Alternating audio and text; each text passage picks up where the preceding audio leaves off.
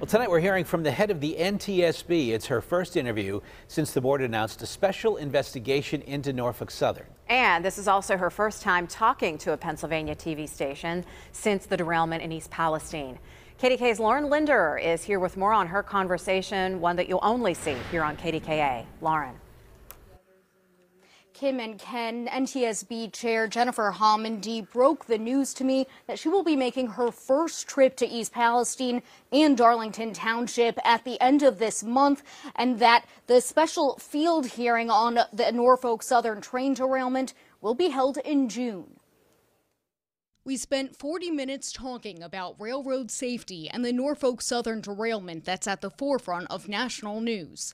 I first asked her about the announcement of a special investigation into the rail company's safety practices, an unprecedented move by the NTSB. Chair Homendy tells me the only other time she can remember this kind of investigation was in 2013 after several accidents on Metro North.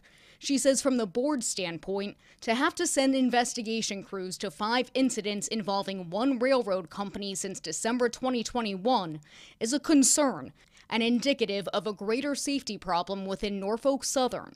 The investigation will be separate from that into the East Palestine derailment and should also take about one year. In the process of working on these investigations, Chair Homendy will make her first trip to the wreckage site and the impacted communities. She tells me she would have visited earlier, but recently had foot surgery. She looks forward to speaking with first responders, the mayor, and residents to hear their concerns.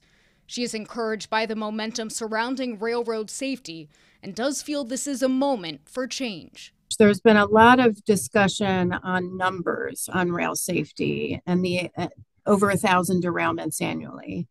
Most derailments do not result in this type of um, terrible, terrible tragedy, thankfully. But, you know, it only takes one. And, you know, out of this, we need to make sure for them that we are working with entities to identify what occurred, provide safety recommendations to prevent that from reoccurring. And then those entities that we issue those recommendations to need to take immediate action. They deserve that. Now, Chair Homendy tells me that NTSB workers will be heading to the region this weekend to scope out venues for that June field hearing. I'll have much more on our conversation coming up tonight at 10 and 11. But for now, reporting live in the newsroom, Lauren Linder, KDKA News. Thanks, Lauren.